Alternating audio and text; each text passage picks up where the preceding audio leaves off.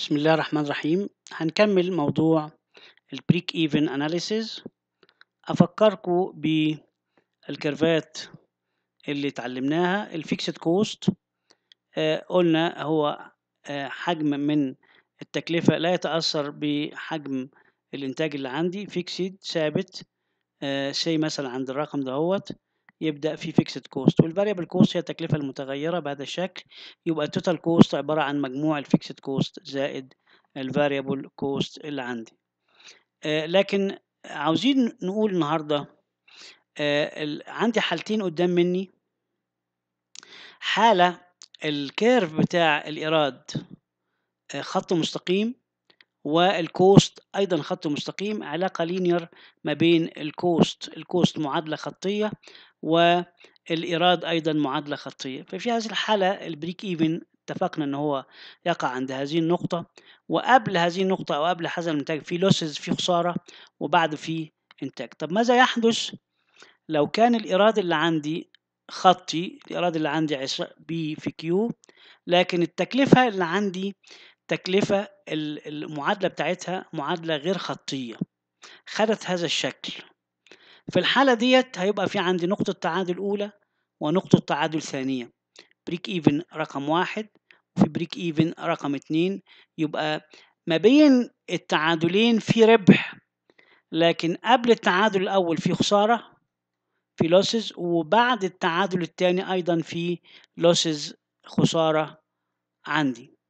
يبقى النهارده لو أنا عاوز أعمل أجيب حجم إنتاج يحقق لي أعلى ربح مفروض حجم الإنتاج اللي يحقق لي عب- أعلى ربح هو الحجم الإنتاج اللي عند أعلى curvature هنا هوت.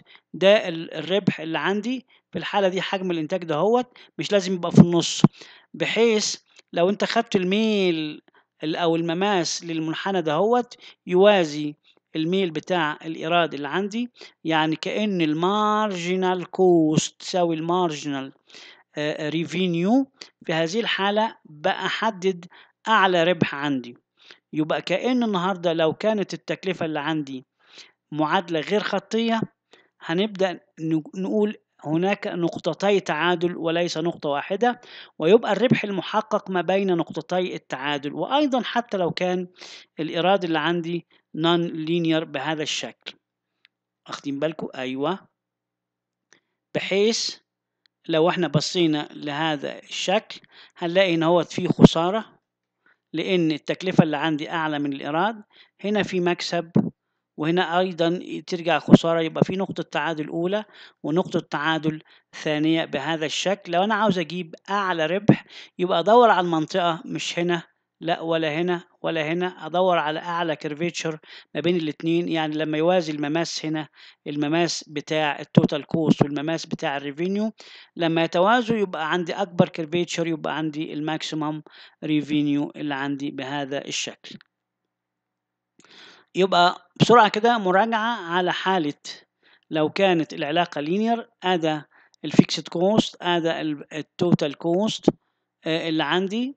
وبعدين أدا ال revenue يبقى التعادل ما بين الاتنين بهذا الشكل يبقى في الحالة ديت في نقطة تعادل آه، واحدة آه، في هذا ال example اللي هو ال linear linear بمعنى إن المعادلات خطية سواء كان الإيراد أو كان ال ال ال total cost اللي عندي خطيه لكن في حالة ال linear توضيح للمعادلات.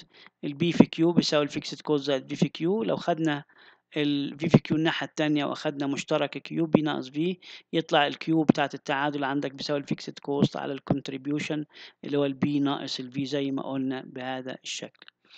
يبقى ده آه، الشكل العام بتاع ال graphical solution methods اللي عندي. Draw the line through origin with slope of P اللي هو ال product price اللي هو ال total revenue ثم ال total cost اللي عندي ترسمه. يتقابلوا في نقطة هي نقطة اللي بيسموها نقطة التعادل اللي عندي. يبقى التعادل مرة تانية يحدث عندما ال total revenue يساوي ال total cost لما نساوي المعادلتين ببعض أبدأ في الآخر خالص أقدر أقول إن ال break even بتاعتي بيساوي ال fixed cost على ال contribution اللي هو السعر ناقص ال variable cost لل unit الواحدة اللي عندي. لو أنا عاوز أجيبه ب يعني حجم التعادل بالفلوس يعني في الحالة ديت هتضرب ال P في ال Q ضربت ال P في Q يبقى لازم تضرب فوق P عندنا اهوت ولو خدت P مشترك الناحية دي والناحية دي هتبقى المعادلة في الآخر ال fixed cost على واحد ناقص ال variable cost على P لأنك قسمت P مع P بهذا الشكل. Example لو أنا عندي آه، آه، آه، بديلين مثلا منشار عادي ومنشار كهربائي ال fixed cost بتاع ال alternative الأول 5 دولار وال variable cost كل ما بيقطع unit بيكلفني 0.4 دولار per unit ال alternative الثاني هتشتريه طبعا غالي شوية عشان كهربائي يبقى ال fixed cost عالية شوية لكن التكلفة للوحدة الواحدة أقل يبقى 0.1 أشتري ده ولا أشتري ده؟ يبقى في الحالة دي أشوف التعادل ما بينهم وأشوف حجم الإنتاج المتوقع اللي عندي. لو حجم الإنتاج المتوقع اللي عندي قبل ال break even بين الاتنين هيبقى قرارك مع اللي يديك تكلفة أقل. لو هو أعلى أيضا مع التكلفة الأقل هيروح لل alternative اللي بعده. يبقى ال solution بتاعي أنا هقول والله ال break even بتاعت الراجل دهوت عبارة عن ال fixed cost بتاعته اللي هي عبارة عن آه آه هو عاوز يجيب ال break even بين الاتنين فال fixed cost هنا 305 وال fixed cost هنا 5 وبعدين آه التكلفة المتغيرة بتاعت ده 0.4 التكلفة المتغيرة ده 0.1 يطلع ال Q بتاعت ال break even ما بين الاتنين آه عبارة عن ألف tree. تقطع ألف شجرة يبقى في الحالة ديت تروح تجيب ال alternative الأول أو ال alternative التاني اللي عندك. لكن لو إحنا عاوزين نعملها graphics يبقى ده هنا أهوت مثلا في ال alternative الأول هيبقى شكله كده أهو وال alternative الثاني شكله كده لكن ما هوش fixed يعني. في الحالة ديت عند 1000 tree واخد بالك؟ ال alternative اللي هو ال fixed cost بتاعته قليلة اللي هو الأولاني اللي هو ال alternative A مثلا وال alternative الثاني اللي هو ال alternative B لو كانت الحجم الإنتاج اللي أنت تعمله أقل من 1000 شجرة في الحالة دي التكلفة بتاعه ال alternative الأول أفضل. لكن لو حجم الإنتاج اللي عندك ممتد لاكثر من 1000 شجرة في الحالة ديت يبقى المنشار الكهربائي اللي عندي هو الأفضل لأنه على المدى الطويل هيبقى أفضل من ال alternative الثاني يبقى example تاني given this information on cost and revenue. ال fixed cost 60000 دولار وال variable cost 20 دولار per unit و revenue اللي هو سعر البيع 30 دولار. أنا النهارده لو عاوز أجيب بسرعة كده حجم الإنتاج بتاع التعادل هقول والله حجم الإنتاج بتاع التعادل يساوي ال fixed cost اللي هو 60 ألف على ال P اللي هو سعر البيع اللي هو 30 ناقص 20 اللي هو يعتبر 10 يبقى 60 ألف على عشرة يطلع إيه؟ ست آلاف اللي هو حجم التعادل بتاع هذا الالترناتيف determine each of the following. هو عاوز منك بعض حاجات profit أو lose as the volume of 5000 لو أنت حجم الإنتاج 5000 في ربح ولا خسارة؟ لكل alternative. ال profit or loss at volume 10000 وعاوزين نجيب ال break even point اللي عندي طب النهارده لو حجم الإنتاج اللي عندي 5000 يبقى الإيراد بتاعك عبارة عن إيه؟ 5000 في سعر البيع اللي هو كام؟ اللي هو 30 يبقى ده الإيراد. طيب التكلفة بتاعتك هتبقى إيش؟ 60000 ملهاش علاقة بحجم الإنتاج زائد خمس ألاف أضربه في التكلفة المتغيرة اللي عندي اللي هي 30 وأبدأ أقارن ما بين الحجم ده والحجم ده. أشوف إذا كان الإيراد ده أعلى من التكلفة يبقى في ربح إذا كان العكس يبقى في خسارة. تعالوا نشوف الكلام ده يتحسب إزاي. يبقى البروفيت عبارة عن الإيراد ناقص التكلفة.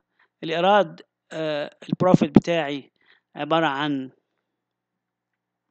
حجم الإنتاج اللي عندي عبارة عن 5000 وسعر البيع اللي عندي هو 30 sorry 30 30 في آه، 5000 ناقص 60000 في 20 في 5000 طلع بالنيجاتيف يبقى في الحالة ديت في losses في خسارة عندي. آه، في حالة لو حجم الإنتاج 10000 يبقى 10000 في 30 آه، ناقص التكلفة اللي عندي يبقى في آه، عندي أرباح 40000 آه، يبقى حجم التعادل اللي عندي يطلع 6000 يبقى عندي 6000 آه، لا مكسب ولا خسارة. لكن عند 5000 في خسارة لأنه أقل من ال 6000 وعند آه، 10000 في مكسب آه، لأنه أكتر من التعادل اللي هو 6000 اللي عندي. آه، يبقى في الحالة ديت أقدر أجيب ال profit اللي عندي. example هنا آخر بيقول لي ال plan production 15000 unit per month find break even لايف لو ال fixed cost اللي عندي 75000 per month وال revenue اللي هو الإيراد يعني سعر البيع 8 دولار per unit وال variable cost اتنين ونص per unit determine expected monthly profit or loss في حالة ال production اللي عندي 15000 أجيب الإيراد بتاعي والتكلفة بتاعتي. اولا حجم التعادل بيساوي ال fixed cost على P ناقص ال V يبقى والله حجم التعادل بتاعك 13000 طب اوتوماتيك كده ال 15000 ديت أكبر من 13 آه يبقى هيبقى في ربح. قبل ما أحسب كده أعرف إن في ربح لكن لو كان الرقم أقل من 13636 هيبقى في خسارة. بس طبعا نحسب الربح إزاي؟ هجيب الإيراد بتاعي اللي هو ال R في Q ناقص ال fixed cost اللي عندي. آه طبعا آه ال ال ال تمن تمن تلاف تمن دولار اللي هي عبارة عن الإيراد بتاعك ناقص ال variable cost اللي عندي اللي هي اتنين ونص. في حجم اللي عندي اللي هو خمستاشر ألف ناقص خمسة وسبعين ألف اللي هي ال fixed cost يطلع كلام. آه، طبعا هي هي لو إحنا حسبناها حتة حتة كده بحيث إن أنا سعر البيع تمن تلاف تمن دولار آسف في آه، حجم الإنتاج اللي أنا عاوزه خمستاشر ألف ناقص افتح قوس كده أهوت ال variable cost اللي عندي عبارة عن خمسة وسبعين ألف زائد ال variable cost اتنين ونص في الخمستاشر ألف اللي عندي. هتحسب دي total وتطرحها من المبلغ ده هيطلع الأرباح المتوقعة عبارة عن سبع سبعة آلاف وخمسمية دولار بير مانث اللي عندي. Example آخر manufacturers firm produce a single product selling price عبارة عن 16 per unit والvariable cost عندي يبقى عندي سعر البيع عبارة عن 16 دولار per unit والvariable cost عبارة عن 12 دولار per unit. يبقى if the annual fixed cost يبقى ال fixed cost اللي عندي بتساوي آه 12 120 ألف آه دولار. Find the break even. automatic أقدر أجيب ال break even بالقانون اللي أنا حافظه. اللي هو عبارة عن ال 120 ألف على ال P ناقص ال V اللي هو 16 ناقص 12 وتشوف هتطلع كام. Find the break even point in unit and in dollar. In دولار ممكن الرقم اللي طلع ده تضربه في ال 16 أو بالقانون اللي إحنا عارفينه كلها كلنا اللي هو عبارة عن ال fixed cost على واحد ناقص V على P اللي عندي تعالوا نشوف حسابات الكلام ده. Require break even point by unit و by dollar. Percentage of capacity. ال marginal safety اللي عندك. لو انت الانتاج بتاعك الكلام ده يبقى ال marginal safety يبقى ال equilibrium أو ال break even بيساوي ال fixed cost 30000 unit لكن بالدولار ممكن تضرب 30000 unit في سعر البيع أو في القانون ده fixed cost على واحد ناقص V على P يطلع بالفلوس التعادل عند 4000 كام؟ أربعة آه فين؟ واحد اتنين تلاتة واحد آه ربعمية وتمانين ألف آه دولار. يبقى ال break even ك percentage ال break even sale على ال capacity هو عنده capacity خمسين ألف يقدر ينتج خمسين ألف مثلا هو قال لك ال capacity بتاعتي خمسين ألف في الحالة ديت يبقى أنت بتنتج عند التعادل ستين في المية من قدراتك. المارجنال سيفتي اللي هو عبارة عن خمسين ألف اللي هي القدرة بتاعتك ناقص ال- ال- التعادل بتاعك كان عن تلاتين ألف آه، يبقى يبقى دي تلاتين ألف. يطلع عشرين آه، عندنا خمسين ألف ناقص تلاتين ألف يطلع عشرين ألف اللي هو ال marginal اللي عندي. آه، لو عندي two alternative وعاوزين نشوف المقارنة ما بينهم آه، نشوف ال break even point where the total revenue equal total cost. Number of product عبارة عن 0.75 number of product A. لو أنا قلت العشرة دولار في A حيث آه، A ديت حجم الإنتاج بتاع ال alternative A. آه، زائد 12 في ال B حيث B أنا بفترضها إنها حجم الإنتاج بتاع ال product B. هيساوي خمسة اللي هي بنقول إيش؟ الخمسة عبارة عن ال variable cost في A وال variable cost بتاعت التانية في B زائد ال fixed cost بتاعت الاتنين. اللي عندي وأبدأ أشوف المعادلة تتطور عندي بهذا الشكل. أقدر أقول إن ال A بتاعتي هتساوي 400 unit وال B هتساوي 300 unit علشان آه، يحصل تعادل ما بين الاتنين. طبعا المعطيات اللي عندي بهذا الشكل product A ال selling price 10 وال variable cost 5 وال fixed cost 2000 لكن ال product B ب 12 و10 و 600 يبقى أقدر أحسب if this product mix is changed to 5A for 5B what would happen to the break even point? بنعيد المعادلة تانية آه، آه، بالمعطيات ال given الجديدة اللي عندي.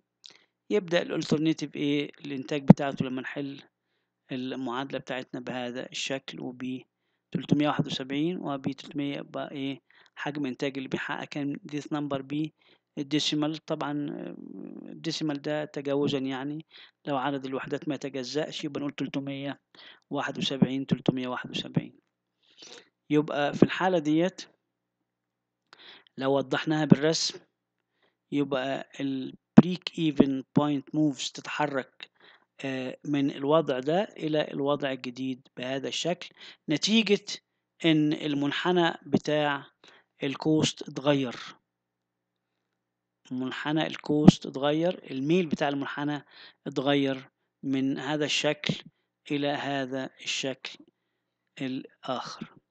يبقى آه، التعادل الجديد نحسبه بهذا الشكل.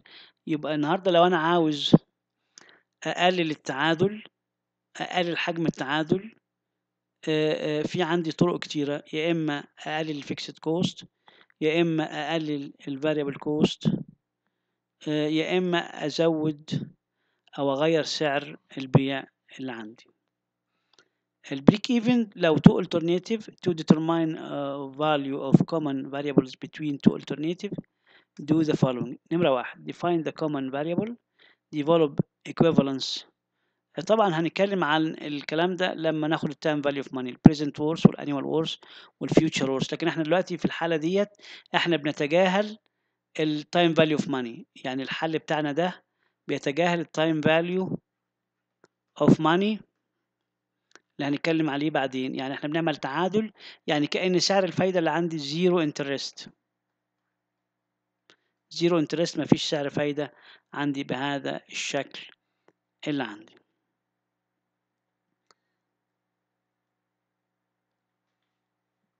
يبقى هنأجل الجزئية ديت لما ناخد ال time value of money طبعا ال limitation ال limitation break even uh, costs are either fixed or variable.